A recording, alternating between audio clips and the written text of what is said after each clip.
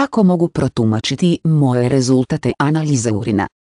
Analiza urina je rutinski probir koji vaš liječnik može naručiti kao dio fizičkog pregleda ili kao te za dijagnosticiranje određenih bolesti.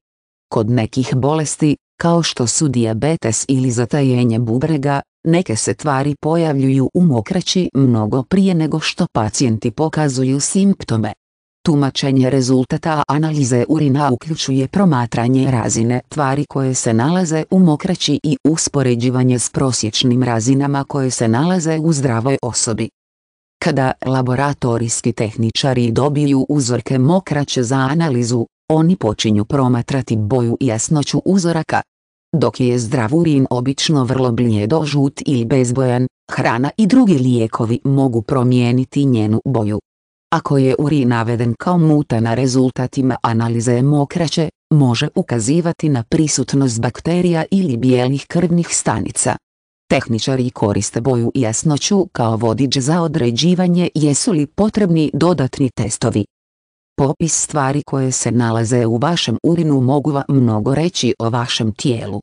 Zdrava mokraća prvenstveno se sastoji od ureje, klorida, natrija, kalija i kreatinina, tim redoslijedom.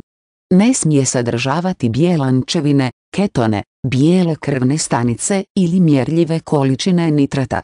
Ako rezultati analize mokraće pokažu bilo koju od tih tvari, liječnik može odrediti dodatne testove kako bi odredio njihov točan uzrok.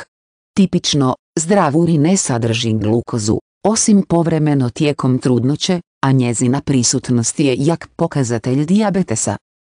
Vaši rezultati analize urina prikazat će specifičnu težinu vašeg urina, koji koristi posebnu ljestvicu nazvanu kalibrirani refraktometar za mjerenje količine otopljenih tvari u urinu. Normalni rezultati kreću se između 1010 i 1020 na skali. Niži brojevi mogu ukazivati na pretjeranu hidraciju ili probleme s bubrezima. Dehidracija, infekcija ili previše soli u vašoj prehrani može uzrokovati više brojeve. Analiza urina također mjeri pH ravnotežu vašeg urina kako bi se utvrdila njegova kiselost. Zdravi urin se kreće između 6,5 i 7,25 na kiselinsko-baznoj skali. Niska razina pH na rezultatima analize mokraće pokazuje da je urin kiseli od normalnog, što može biti posljedica jedanja začinjene, kisele hrane. Visoka pH ravnoteža može biti uzrokovana uzimanjem antacida, ali i može ukazivati i na veću osjetljivost na infekcije. Zdravi urin je sterilan, što znači da ne sadrži bakterije ili mikroorganizme. Ako se sumnja na infekciju, laboratorijski tehničari gledaju urin pod mikroskopom. Prisutnost bilo koje bakterije na rezultatima analize mokraće obično ukazuje na infekciju. Kod žena, bakterije iz vagine mogu pronaći svoj put u uzorak urina ako se ne poduzmu pažljive mjere kako bi se osigurao čist uzorak. Obično će vaš liječnik pregledati bilo kakve abnormalne rezultate mokraće tijekom naknadne posjete.